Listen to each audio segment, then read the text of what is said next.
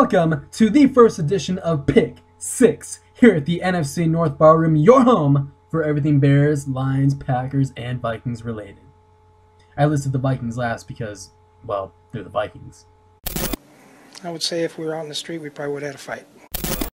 I'm just kidding. I was going in alphabetical order, obviously.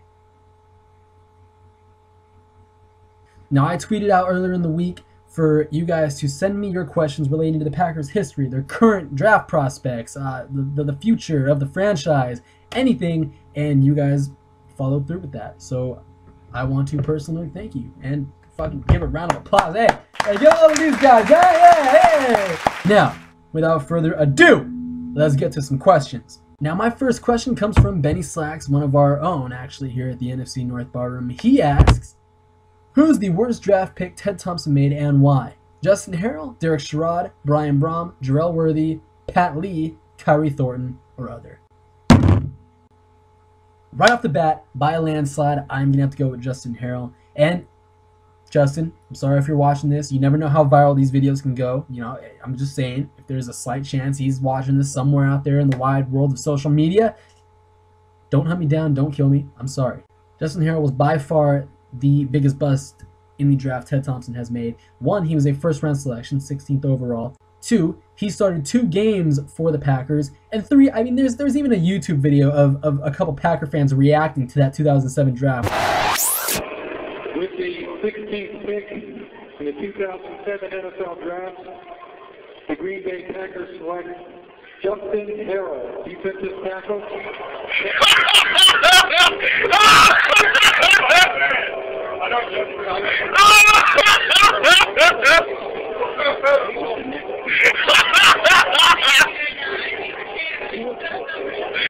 But regardless, a couple other guys on there were second round picks. One was a third rounder and didn't have very high expectations.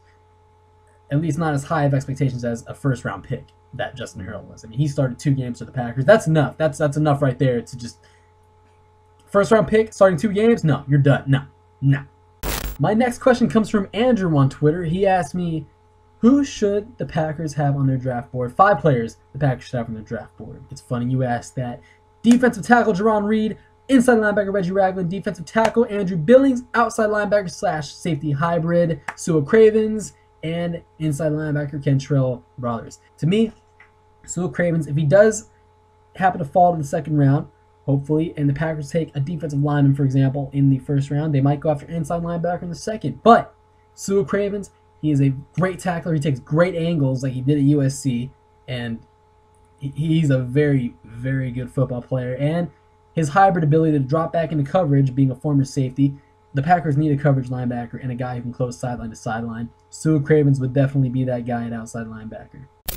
My next question comes from Richard. He wants me to rank the five best players to ever wear a Packer uniform in order. I was kicking myself over this because I don't want to leave, I want to exclude guys. The Packers have just had so many great players in their illustrious history, and I know that sounds extremely biased, mm-hmm. but hey, I speak the truth, the whole truth, and nothing but the truth, at least in my mind. Number one to me, and I'm sure a lot of other people as well, Brett Favre. He was Green Bay Packers football. Number two, Bart Starr, Reggie White, Ray Nitschke, and Donald Driver. Donald Driver, yeah, Donald Driver. Donald Driver epitomized what it meant to be a Green Bay Packer, and especially at the receiver position in a league with, you know, flashy guys at, at, that position. Donald Driver got on the field, did his job, and got off, and that is why I respect him so much and why I'm so grateful that he was such a talented receiver in Green Bay for 13 seasons. That's why I would rank him at number five. When I think of the Green Bay Packers, he's definitely one of the top guys that comes to my mind. My next question comes from DJ, the realistic option for the Green Bay Packers in the first round of the draft. Now, another open-ended question that can have a variety of answers. Realistically, I don't see Reggie Ragland falling to 27. With BJ Raji gone, that opens up a 330 plus pound gap on the defensive line that Raji formerly anchored. That opens up the door, however, for defensive tackle Andrew Billings out of Baylor. He is the realistic selection that I can see the Packers going with in the first round of the draft. It would be great if Reggie Ragland fell to 27, but I just, I truthfully, I don't see it happening. With in, the inside linebacker position being so slim in this year's draft, not much talent, but the defensive line position in this draft does run deep, and I mean deep.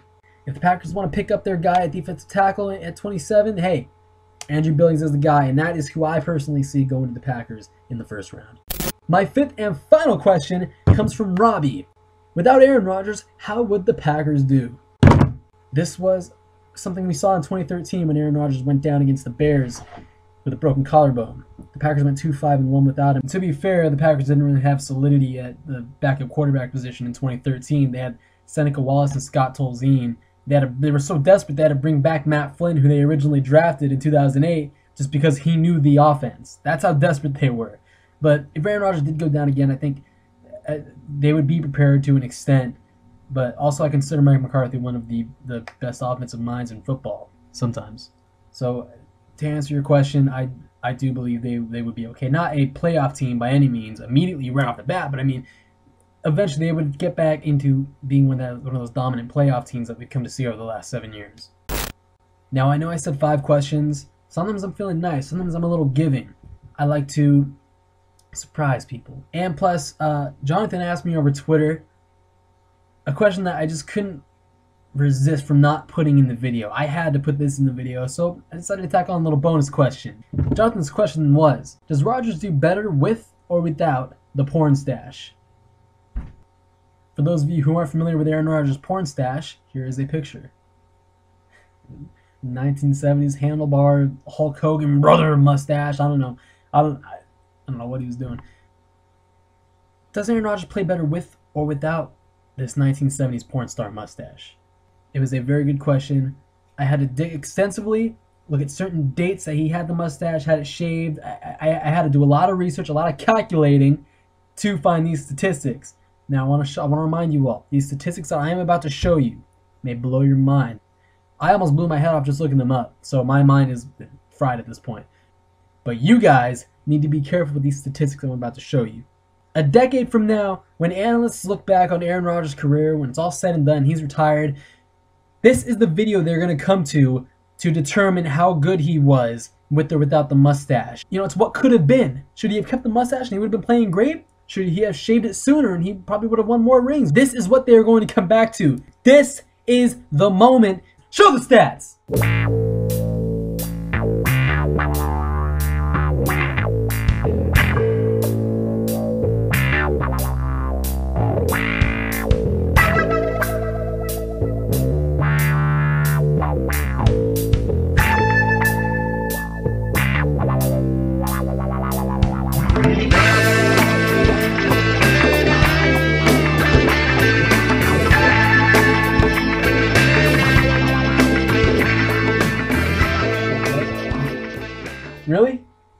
Oh, oh fuck. Uh, all right. Well, uh, I hope that answers your question. That um, wow. Uh, okay. Thank you, Jonathan, for the question. So, from porn star handlebar mustaches to realistic first round options for the Packers, I think it's time we wrap up the first edition of Pick Six here at the NFC North Barroom. I hope you all enjoyed this video, and I want to thank you all for for participating, sending me your questions, and I'll look to do it again in a week. So I'll ask you guys for more questions shortly, and uh, we'll get right back to this. Thank you for watching, and I'll see you next week.